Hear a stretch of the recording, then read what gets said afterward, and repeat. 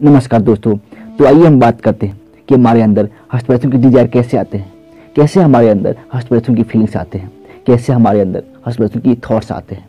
और इसका permanent solution क्या है? तो आइए इसके बारे में हम विस्तार पूर्वक जानते हैं। सबसे पहली बात कि हमारे अंदर हस्तप्रसों की डिज़ायर कैसे आते हैं?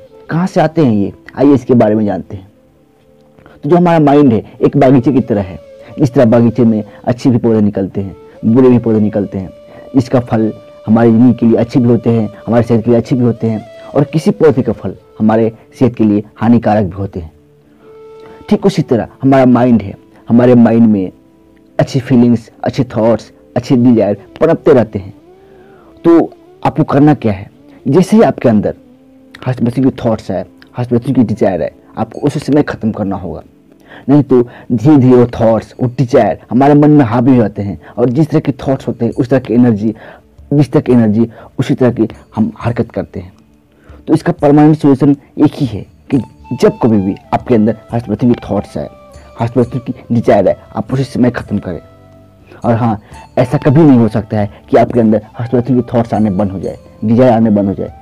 ये हमेशा आती रहेंगी। तो आपको सिर्फ़ और सिर्फ़ एक ही बात पर ध्यान रखना होगा कि जैसे आपके अंदर थॉट्स है, आप उसी समय खत्म करें। तो मैं उम्मीद करता हूँ कि मेरी इस बात से आप कुछ सीखेंगे। तब तक के लिए goodbye thank you so much